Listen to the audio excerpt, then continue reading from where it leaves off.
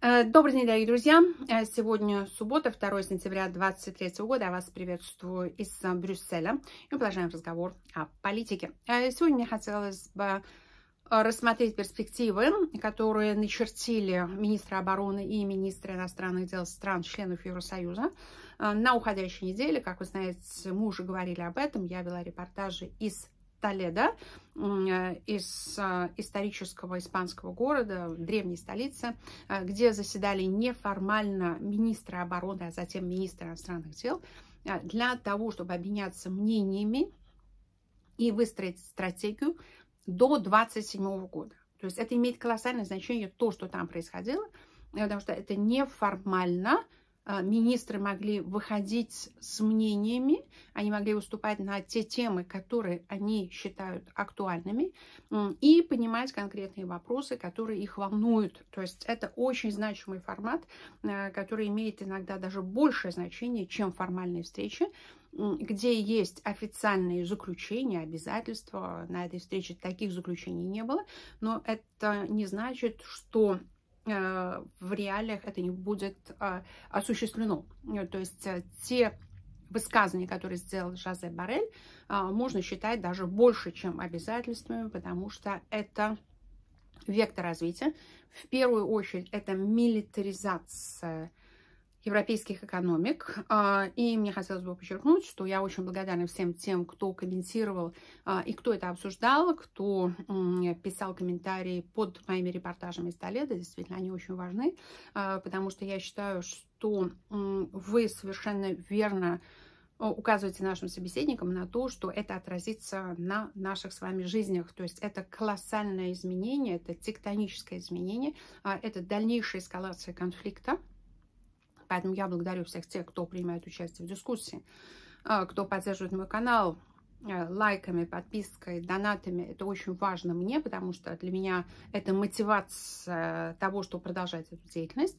А, но также мне хотелось бы указать, что, конечно, ваше участие имеет колоссальное значение, ваши комментарии, потому что они обращают внимание тех, кто пребывает в иллюзиях, а на то, что на самом деле происходит. Итак, что же на самом деле происходит? В первую очередь, это формат миротворцев. Я рассказывала вам про этот формат. Э, он был создан Евросоюзом после Югославской войны. 15 э, тысяч человек, которых можно обучать как миротворцев в случае того, что вспыхнет вновь война, конфликт на европейском континенте. И э, этот формат был использован для обучения бойцов ВСУ. Затем он был увеличен вдвое до 30 тысяч. И сейчас Барель обещал увеличить до конца года до 40 тысяч. То есть дополнительно будут обучаться бойцы ВСУ в рамках этого некогда формата миротворцев. Ну, некогда, это было после Югославской войны. Это была другая эпоха. И не только, потому что также вы знаете, что генсек НАТО Йенс Столтенберг не скрывает проблем с дефицитом амуниции. И Жозеп Барель обещал, что э, министры обороны займутся вплотную тем, чтобы произвести 1 миллион единиц. То есть эта проблема будет преодолена совершенно железно, совершенно однозначно.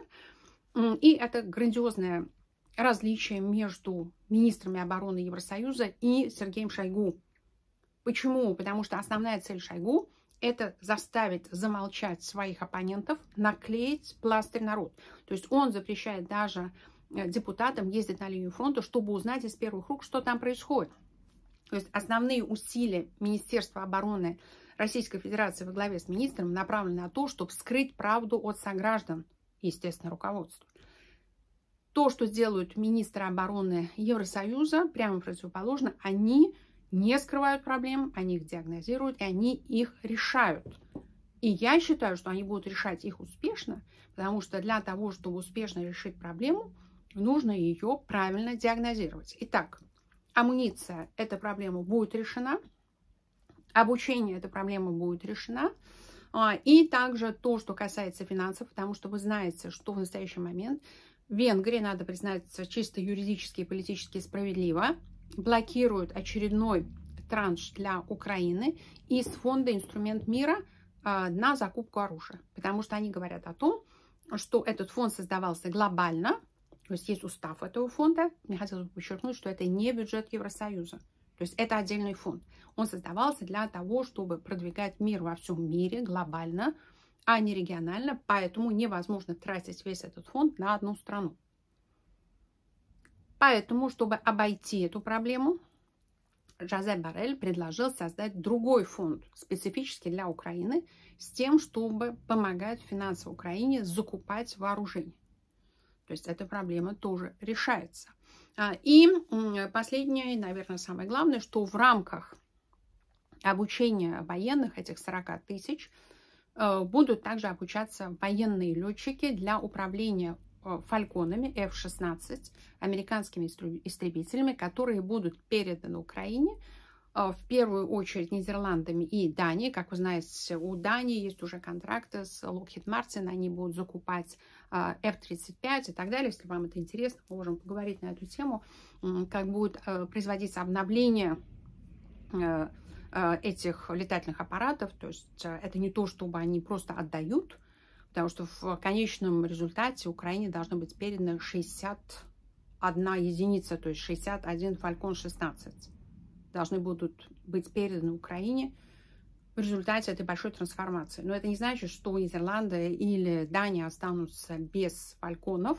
То есть у них будет тогда другой фалькон вместо тех, которые они отдадут. Фалькон 35. Но это, опять-таки, отдельная большая тема, как это будет осуществляться, почему. А, и поэтому совершенно ошибочно со стороны российских экспертов говорить о том, что э, эта передача фальконов ничего не изменит, она все изменит. Все изменит. Конечно, один-два фалькона нет, но это начало, то есть э, будут со следующего года заниматься инфраструктурами и так далее для того, чтобы создавать э, украинские военно-воздушные силы на других основаниях, на других принципах, на принципах этой ультрасовременной техники – и, конечно, когда в результате Украины окажется 61 летательный аппарат, а, это будет а, колоссальным качественным изменением ситуации. Но а, необходимо понимать, что корни проблемы, корни проблемы для России не в том, что НАТО вооружает Украину или в том, что страны, союзницы по НАТО этим занимаются, а в том, что министр обороны отрицает существование такой проблемы. То есть, когда люди начинают, профессионалы начинают говорить, будь то Квачков, а, будь то Стрелков, будь то кто-то другой, или Пригожин, которого уже с нами нет, он, наверное, пострадал больше всех, даже больше страдающего от а, сердечных приступов а, Стрелкова, потому что, возможно, его и хотят уморить. Я так думаю. Напишите мне, что вы думаете. Мы еще об этом поговорим, как э, занимается расправами с инакомыслящими Э, министра обороны Шойгу. Но самая большая проблема заключается в том, что вся его политика, все его усилия направлены на то, чтобы скрывать правду от людей. То есть скрывать правду от начальства, скрывать правду от общества, преследовать всех, кто его критикует. Потому что для Шойгу самое главное – это удержание личной власти, это удержание этой позиции, за которую он боролся в течение всей жизни, вы понимаете, для того, чтобы получить такой грандиозный портфель, некому прорабу э, с края Айкумены из Тывы. Надо приложить немало усилий, поэтому у него совершенно другие цели, чем у европейских министров. Европейские министры говорят о проблемах, их преодолевают. Министр Шойгу запрещает говорить о проблемах а, и их скрывает. Поэтому решить проблемы, о которых запрещено говорить, просто, дорогие друзья, фактически невозможно. Поэтому мое мнение о перспективах для России в этом конфликте весьма пессимистично. Что думаете по этому поводу вы? Я надеюсь на ваши отклики. Я желаю вам всем прекрасных выходных. Завтра у нас будет стрим в 6 часов вечера. Готовьте вопросы и на связи.